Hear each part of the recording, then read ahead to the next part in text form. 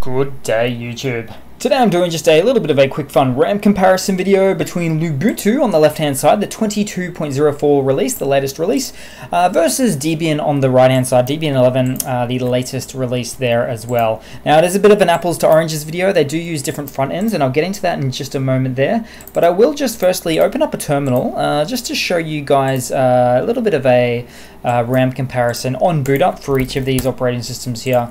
So I'll use htop, a nice lightweight system monitor command there. And on the left hand side for Lubuntu, we're running about uh, 360 megabytes of RAM on boot up, which isn't too bad.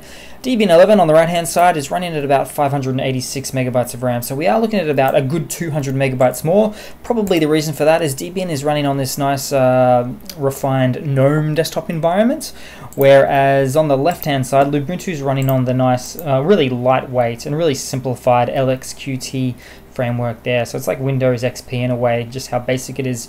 That's the main difference there, guys. So uh, always take these videos with a bit of grain of salt. But uh, thanks for watching. Please leave a comment, subscribe, hit that like button, and I do hope to see all of you guys there in the next one.